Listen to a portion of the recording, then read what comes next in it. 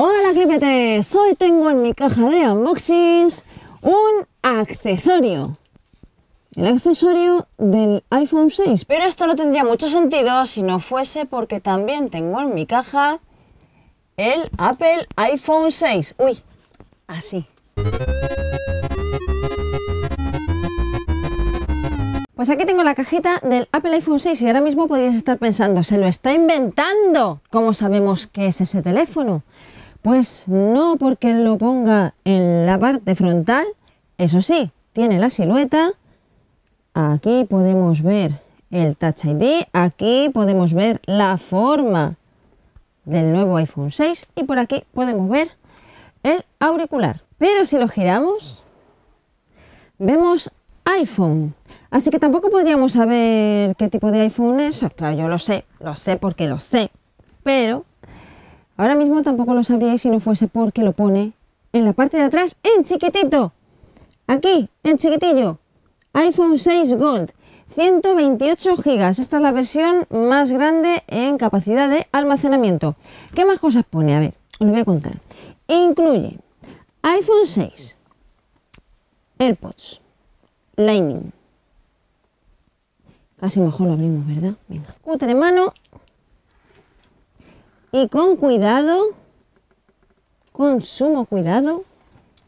Bueno, si lo hago un poquito más de así, tampoco pasa nada. Y plastiquitos fuera.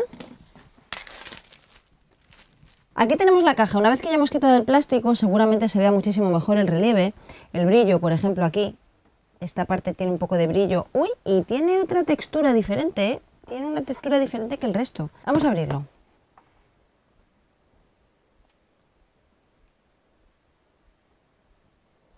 ¡Tachán! iPhone 6 en la parte de arriba, tiramos de la pestañita y aquí lo tenemos en su color doradito. Tres acabados, acabado en gold, acabado en silver y acabado en space gray. Lo dejamos como es habitual. Aquí. ¿eh? Y vamos a seguir viendo ¿eh? lo que hay en la caja. ¿Eh? ¡A la caja! ¡Todo el mundo a la caja! Levantamos la pestañita y debajo del soporte del smartphone tenemos pues los típicos papelotes. Bueno, y el clásico pinchito, que es este de que se me resiste este. Para poder sacar la bandeja de las tarjetas nano SIM. Lo voy a dejar aquí y voy a ver qué más cositas hay. Pues iPhone 6, esto está en italiano, esto está en español, con su bienvenido al iPhone, más información, etcétera, etcétera.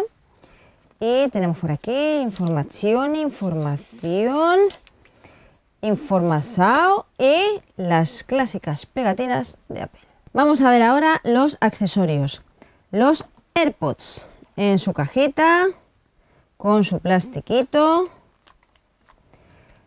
enrollados de una forma en la que no lo vais a volver a enrollar en vuestra vida, o por lo menos yo nunca lo he conseguido.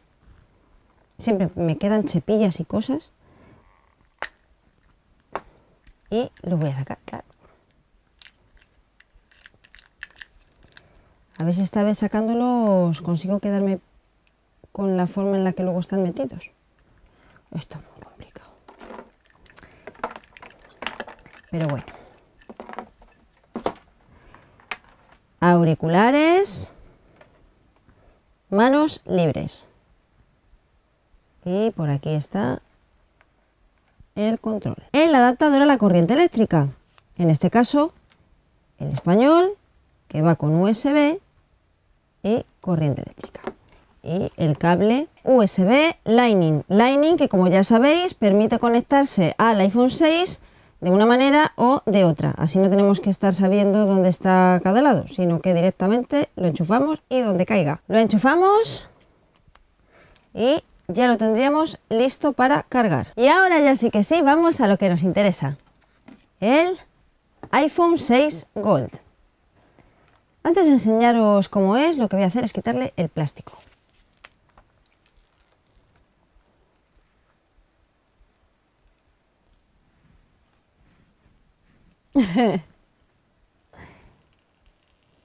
¡Tachán!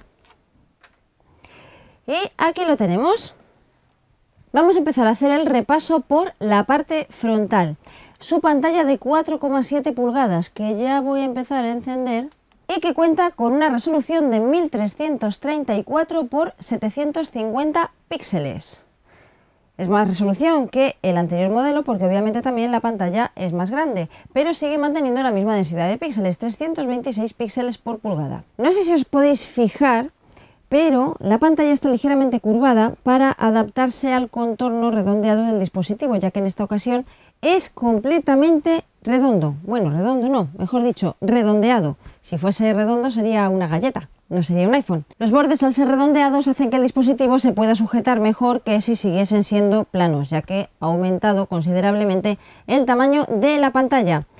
Pero digamos que la esencia la han seguido manteniendo, siguen manteniendo en la parte de aquí abajo el botoncito con Touch ID, con el escáner de huellas dactilares y en la parte de aquí arriba pues sigue manteniendo la cámara frontal. Vamos con el lateral derecho. Vamos a extraer la bandejita y os enseño la bandeja para las tarjetas Nano SIM. Por aquí tenemos el botón de encendido, y bloqueo. Obviamente ya no está en la parte superior porque tal y como os comentaba en la review del iPhone 6, Sí, es que aquí se hacen las cosas al revés. Primero se empieza la casa por el tejado y después se acaba por los cimientos. ¿Qué le vamos a hacer? Pues ya tenéis la review del iPhone 6 para los que queráis verla, pero primero termináis de ver el unboxing porque son dos cosas muy diferentes. Bueno, son el mismo dispositivo, pero distinto. El caso es, repito, el botón se pone en este lateral porque resulta más cómodo pulsarlo con esta mano si está en esa posición que no con el dedo índice que no podríamos llegar en el caso en el que siguiese estando en la parte de arriba. Así que en la parte de arriba no tenemos absolutamente nada. Ya está, libre, limpio. Y por aquí tenemos este botoncito que nos sirve pues, para ponerlo en silencio, para eh, bloquear el giro, etc. Por aquí tenemos el control de volumen que en esta ocasión es alargado en vez de ser redondito y en la parte de abajo tenemos el altavoz, el conector Lightning, tenemos micrófono y tenemos el conector Mini jack, parte trasera dorado, color que les ha debido gustar muchísimo y que han seguido adoptando. ¿Por qué no? Pues si les ha funcionado. Manzanita, doradita también. Y una cosa que a lo mejor no teníamos muy claro si nos iba a gustar o no nos iba a gustar con el Gold en esta ocasión es que, claro, es mucho más Gold que antes. No por el color en sí, sino porque ahora en la parte de aquí abajo y en la parte de aquí arriba Sigue siendo dorado, en vez de mantener las bandas que tenía previamente, lo han puesto con un diseño en el que dejan aquí con el plastiquito, las antenas para que pueda seguir teniendo cobertura. En la parte de atrás tenemos la cámara que sigue manteniendo los 8 megapíxeles.